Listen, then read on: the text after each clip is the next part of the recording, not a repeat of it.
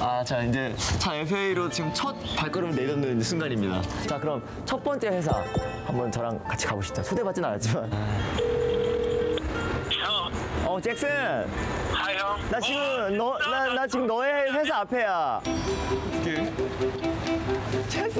잘 있었어? 그래서 어, 저 어떻게 이거 나는 연습하고 있어. 누구누구 다 있어? 거기 진영하고 다 있어? 어, 다 있어.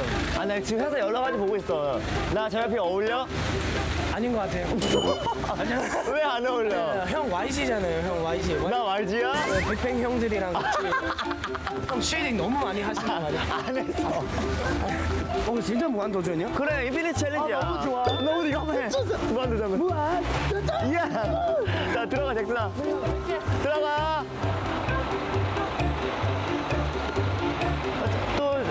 또 얘기하기를 나는 또 여기 스타일이 아니라고 하니까 여기는 아닌 거고 그러면 저희는 커피를 받아 나가죠 뭐. 예. 야,